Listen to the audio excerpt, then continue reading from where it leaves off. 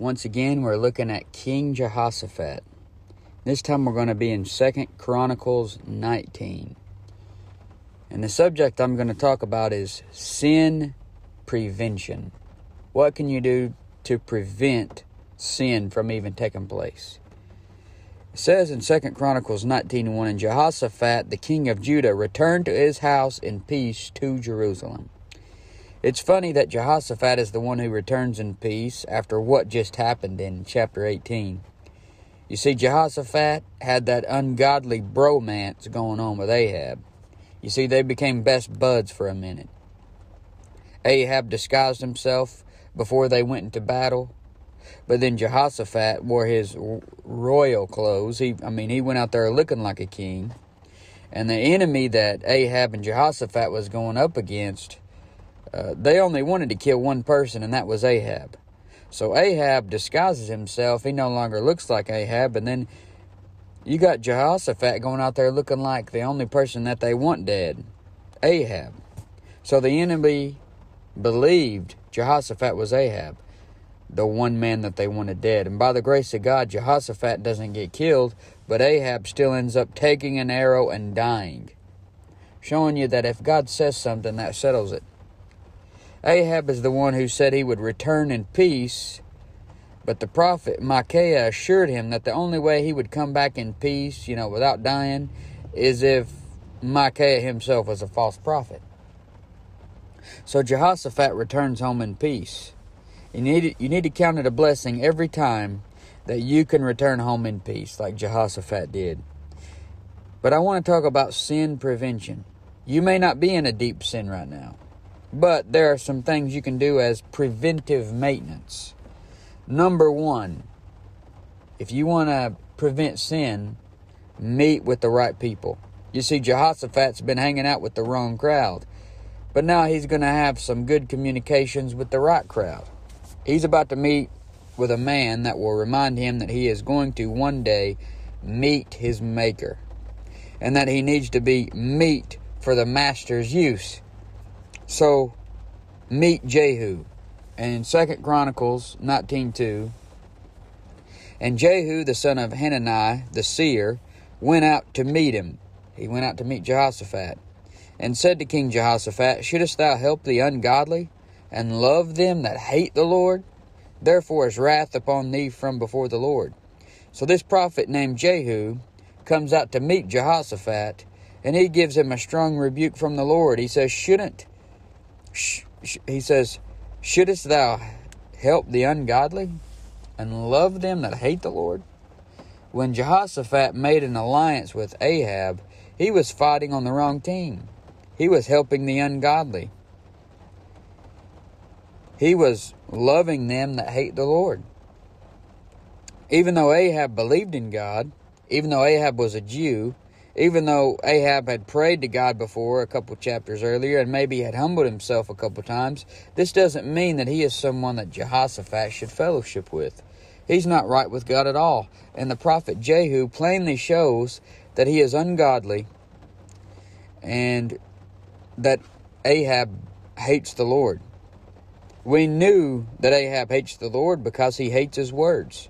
What was that that uh, Ahab said about Micaiah, the prophet of the Lord? He said, he said he hates him, and that's because he just told him what God told him to say. Micaiah was only saying what the Lord gave him to say, and Ahab hated him for it. Ahab hated the words of God. You will notice that Jehoshaphat's response to the prophet's rebuke is much, much better than his father's response. If you remember, Jehoshaphat's father is Asa. He was a good king, but he gets away from the Lord toward the end of his reign. Asa gets away from the Lord toward the end of his reign, and a, a preacher comes to preach to him, and Asa basically has him put in prison. And he has a negative response towards the preaching. If you look at Second Chronicles 16 7, it says, And at that time Hananiah the seer came to Asa, king of Judah, this Jehoshaphat's father, and said unto him, Because thou hast relied on the king of Syria, and not relied on the Lord thy God, therefore is the host of the king of Syria escaped out of thine hand. Were not the Ethiopians and the Lubims a huge host with very many chariots and horsemen? Yet because thou didst rely on the Lord, he delivered them into thine hand. For the eyes of the Lord run to and fro throughout the whole earth, to show himself strong in the behalf of them whose heart is perfect toward him. Herein thou hast done foolishly. Therefore from henceforth thou shalt have wars. Then Asa was wroth with the seer, and put him in a prison house, for he was enraged with him because of this thing, and Asa oppressed some of the people at the same time. So Asa had made an ungodly alliance just like Jehoshaphat made an ungodly alliance with Ahab. So it's like father, like son. And a cool thing here is that Hananiah, the seer that preached to Asa, is the father of Jehu that preaches to Jehoshaphat. But Jehoshaphat has a much better response to the preaching, so that says a lot about him. You can tell a lot about a person by how they handle hard preaching. Jehoshaphat should hang around Jehu the son of Hananiah. Uh, he should get some of his preaching tapes. He should read his commentaries. He should see how the seer walks. And a seer, S E E R, is a prophet. In 1 Samuel 9 9, it says, Before time in Israel, when a man went to inquire of God, thus he spake, Come, and let us go to the seer. For he that is now called a prophet was before time called a seer. But Jehoshaphat, he's meeting with the right people. A good thing to prevent sin is meet with the right people. I know a lot of people that are meeting up with the wrong people all the time, and that's just making them get back into the same sins that just gave them trouble all their life. So that's number one meet with the right people. Number two, take away what's taking away. Jehu is about to let Jehoshaphat know that he's done a good job taking away some things. And there are some things that will take away from your fellowship with the Lord. In 2 Chronicles 19.3 it says, Nevertheless, there are good things found in thee. And this is Jehu talking to Jehoshaphat. He said, There's some good things found in thee. In that thou hast taken away the groves out of the land, and hast prepared thine heart to seek God. So the groves were places where they would have idol worship. And cutting down the groves was pleasing to God for that reason. Men, you see, men love a shady place with trees where they can do all their devilment. And let me show you some things about these groves and give you an idea about how God feels about them. In Exodus 34 12 through 13, he says, Take heed to thyself, lest thou make a covenant with the inhabitants of the land whither thou goest lest it be for a snare in the midst of thee. And ye shall destroy their altars, break their images, and cut down their groves. So they had those altars and images, and they would worship their false gods and idols in those shady areas. But God wanted them to destroy the altars, break the images, and cut down their groves.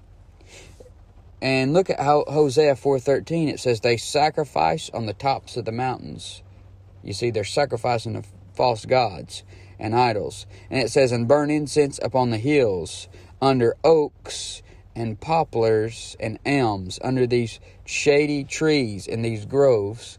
And it says, Because the shadow thereof is good. That's why they would get up in these groves. It's because the shadow thereof is good. And you see that men love darkness rather than light. Because why?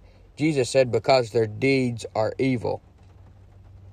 And then in Judges 3 7, it says, And the children of Israel did evil in the sight of the Lord, and forgat the Lord their God, and served Baalim and the groves. So there, the groves are associated with doing evil in the sight of the Lord. They're associated with forgetting the Lord. They're associated with the false god Baalim they're associated with all kinds of wicked stuff. There's there's tons of references. If you just type in groves or grove, you'll see some interesting things about it. In 1 Kings 14, 22 through 23, it says, And Judah did evil in the sight of the Lord, and they provoked him to jealousy with their sins which they had committed, above all that their fathers had done. For they also built them high places, and images, and groves, on every high hill and under every green tree. So they like those groves because it's a shady area. Men like to do their devilment in the dark. But Jehoshaphat decided to take away the things that were taking away. Those groves were taking away the people's hearts from the Lord, and in your life you need to take away the groves. Cut down whatever it is that makes it easier for you to sin. Take the lock off your bedroom door if you have to. Get rid of your cell phone if you have to. Quit working with that person you want to commit adultery with. Take away the things that cause you to lose fellowship with God. This is sin prevention. You know what it is you need to take away. I don't even have to really give examples because as soon as I say that, there's going to be something pop in your mind. You're like, I need to get rid of that. I need to take that away. I need to get rid of that channel. I need to get rid of that laptop, whatever it may be. In 1 Thessalonians 1 9, it says, For they themselves show of us what manner of entering in we had unto you, and how ye turned to God from idols to serve the living and true God. Turn from your idols, turn to God. Take away some things. It's going to be sin prevention. The more tempting, tempting stuff you get rid of, the less you're going to sin in the future. Now, number three, seek the Lord. In Second Chronicles 19.3 it says, Nevertheless, there are good things found in thee, and that thou hast taken away the groves out of the land, and hast prepared thine heart to seek God. So Jehoshaphat made a mistake, but his heart is in the right place. Uh, he was prepared to seek the Lord, and most times people wait until their most unprepared moment in their life to seek the Lord, because that's when they feel like they need Him. They feel like they don't need Him when things are going good. But you need to be right when things are going right so that you are already in close fellowship when things begin to go wrong in your life. So, how does someone seek the Lord? It's simple. Just come to Him right now and talk to Him like you would a friend. If you're saved, just come to Him and talk to Him. The Lord wants to talk to you more than you want to talk to Him. When is the last time you just sought the Lord? I mean, you know He's real. You may even think about him throughout the day, but when is the last time that you just talked to him? Sometimes you forget that he's there 24 7, but he is actually much easier to get a hold of than any person. You don't even have to press a button on a walkie talkie to get to, get to him. You don't have to dial a number. You don't have to send a text. You don't have to get a, a piece of pen and paper or any of that. You simply can say, God, and he shows up. Prepare your heart to seek the Lord. You need to seek him out because he's always there. He lives in you and you're in him. Prepare your heart to seek the Lord. Ezra 7:10 for Ezra had prepared his heart to seek the law of the Lord and to do it and to teach in Israel statutes and judgment. Prepare your heart. Get it right. Realize realize you've sinned against God and God only have you sinned against. Realize He is the only one who can truly help. You see, Rehoboam did the opposite of Jehoshaphat. Jehoshaphat prepared his heart to seek the Lord. But in 2 Chronicles 12:14, Rehoboam, he did something different. It says, "And he did evil because he prepared not his heart to seek the Lord." See, you need to prepare your heart to seek the Lord. And if you're seeking the Lord, then you're not going to be seeking all that sinful stuff. The more you think about God, the less you think about sin. The more you think about the Bible, the less you think about sinning. If you keep the Bible on your mind, there is not going to be little holes for the temptation and sinful things to come in. Put some good preaching on while you work. Put an audio Bible on.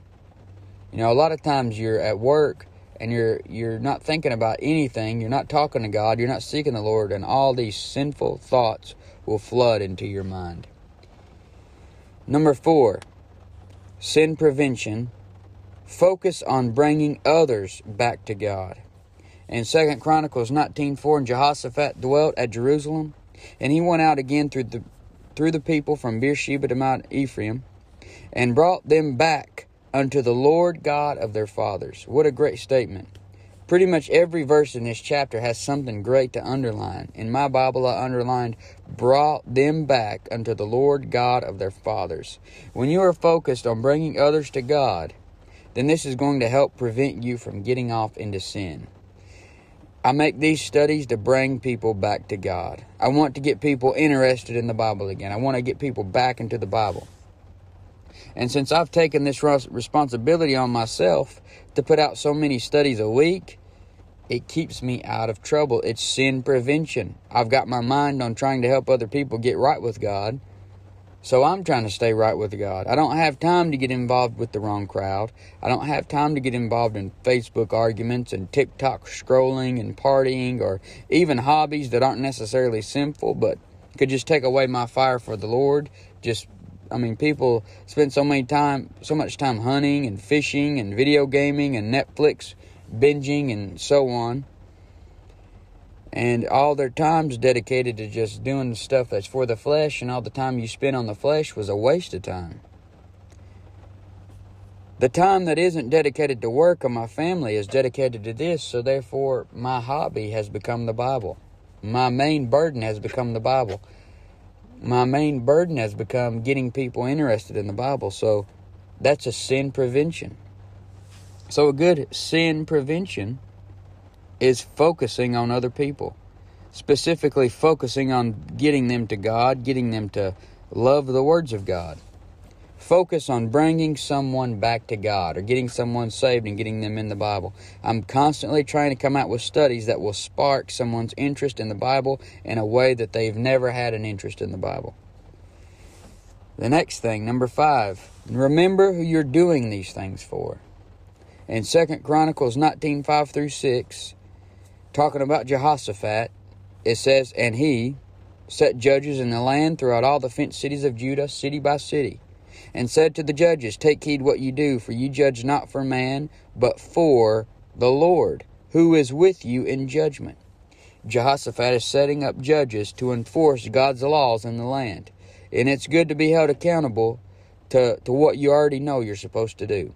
Sometimes it's good to have that person behind you and pushing you telling you what you need to do, even though you really already know what you need to do.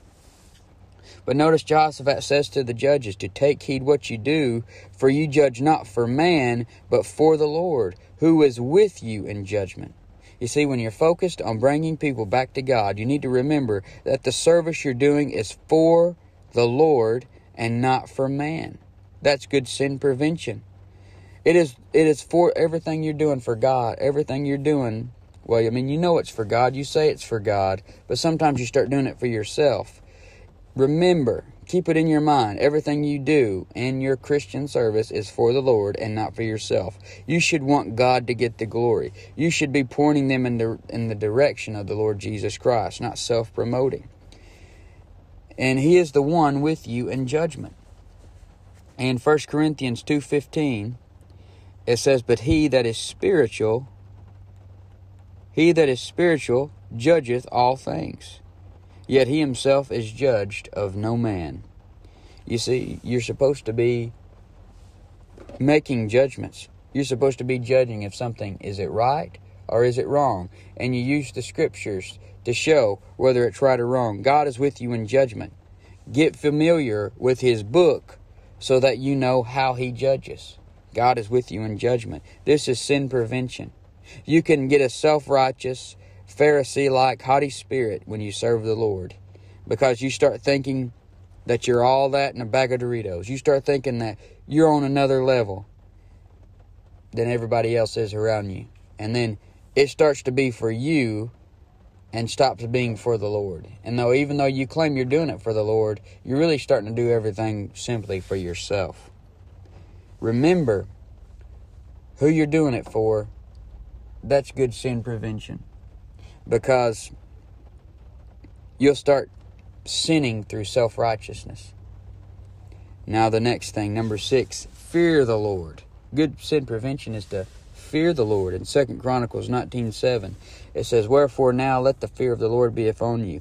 Take heed and do it, for there is no iniquity with the Lord our God, no respect of persons, nor taking of gifts. So fear the Lord. When you start being in the in the spiritual place that you ought to be, you will be fearing God. For example, if you're a mechanic or something like that, then you'll be honest with your customers because they may know nothing about cars. You you could easily deceive them, trick them, get them out of more money than they really need to be giving you. But you tell them what's truthfully wrong with their car and how much they truly owe you because they may not know what you're doing. They may not know what's going on, but God knows what's going on. And when you start living your life like that, that's a spiritual person and that's having fear of the Lord because they may not know what's going on, but the Lord sees it. When you're in a spiritual place in your life, you should be you should be a person that doesn't have respect of persons because God is watching you. You fear him. And he is no respecter of persons. He doesn't want you treating people different because of who their father is or who their mother is or what color their skin is or what weight or height they are or where they went to school. In Second Chronicles 19.7 it says, Wherefore now let the fear of the Lord be upon you. Take heed and do it. For there is no iniquity with the Lord our God, nor respect of persons, nor taking of gifts. Fearing the Lord is sin prevention. You're dealing with the true God who came down in the flesh. He lived it. Uh, he lives to tell about it. And he did it without committing iniquity. It says, There is no iniquity with the Lord our God. This is a God who cannot lie. For there is no iniquity with the Lord our God. He doesn't respect persons, and you can't bribe him with a gift. I mean, that's like an ant carrying you a piece of dirt and thinking he's going to get somewhere with you because he's bringing you a piece of dirt. If God wants something, then he can think of it and it'll be right in his face. It'll appear. He doesn't need anything you can give him. You can't bribe God. And see, Jehoshaphat is explaining, you know, he wants his judges to operate with the fear of the Lord, without respect of persons, and without taking bribes. That is also how we need to do it. Now, number nine, heed warnings. Listen to warnings. That's sin prevention. Somebody warned you about things that could happen before they happen. And it's it's sin prevention to listen to those warnings in Second Chronicles 19:8. It says, "Moreover in Jerusalem did Jehoshaphat set of the Levites and of the priests and of the chief of the fathers of Israel for the judgment of the Lord and for controversies when they returned to Jerusalem." Uh, Jehoshaphat got some men in place for judgment and controversies. Today, the Lord gives us evangelists, pastors, and teachers to lead us and guide us in the right way, obviously guiding people in the Word of God. And in Second Chronicles 19.9 it says, And he charged them, saying, Thus shall ye do in the fear of the Lord, faithfully and with a perfect heart.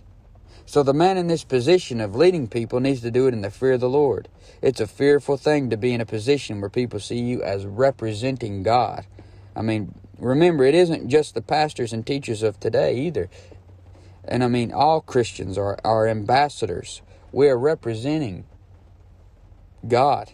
We need to work, walk faithfully and with a perfect heart because when people look at you, they're going to judge God based on how you act, which isn't fair a lot of times because Christians don't act right all the time. And obviously, it doesn't mean we're sinless in our heart if we have a perfect heart. But if you keep your heart ready to please the Lord and confess, confess to the Lord when you mess up, I mean, that's having a perfect heart. Second Chronicles 19.10, And what cause soever shall come to you of your brethren that dwell in their cities, between blood and blood, between law and commandment, between law and commandment, statutes and judgments, ye shall even warn them that they trespass not against the Lord, and so wrath come upon you and upon your brethren, this do, and ye shall not trespass. So it says, warn them. Warn them that they trespass not against the Lord, and so wrath come upon you and upon your brethren. This do, and ye shall not trespass. See that? Sin prevention. This do, and ye shall not trespass. Warn them. And then you take heed to warnings yourself. Good sin prevention is taking heed to the warnings of others, maybe from your parents, maybe from your husband, maybe from your pastor, maybe from your wife sometimes, maybe even from your own kids sometimes. That's happened before. 1 Thessalonians 5.14 Now we exhort you, brethren, warn them that are unruly, comfort the feeble-minded, support the weak, be patient toward all men. Acts 20:31 Paul said therefore watch and remember by, that by the space of 3 years I cease not to warn everyone night and day with tears. So take heed to warnings. When you got something going on in your life, whether it be a secret sin or a open sin or a sin that you've not done yet but you're about to do, take heed to warnings.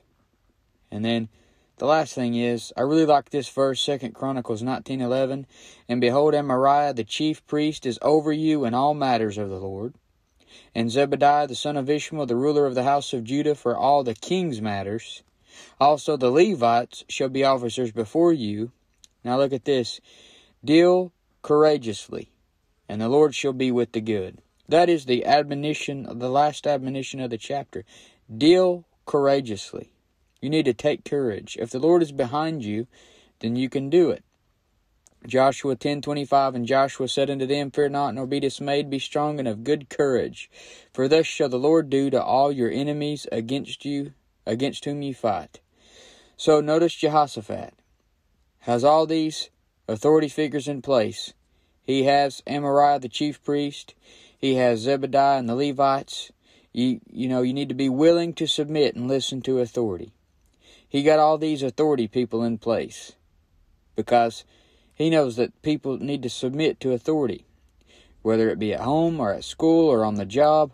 God believed in following authority, and that's why He's put authority figures in place. That's why He gave some pastors and some preachers and some evangelists. That's why He's got police officers. So, go go by authority follow authority until it goes against God's laws. When it goes against His laws, then you become a rebel. Uh, sometimes rebellion becomes godly, as, as I've talked about many times, but most time authority is in place to keep people in line and to keep people out of trouble. Not to get them in trouble, but to get them out of trouble. It is good sin prevention to listen to your authority that's in your life. But this has been a, just a quick study on sin prevention.